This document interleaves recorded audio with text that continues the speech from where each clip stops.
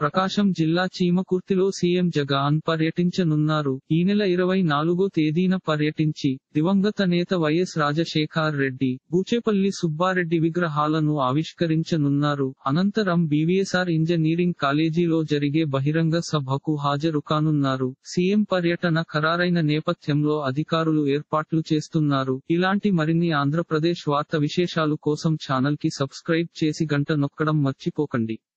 ఈ వీడియోని తోటి మిత్రులకి షేర్ చేయండి. మీ అభిప్రాయాన్ని కామెంట్లో తెలపండి.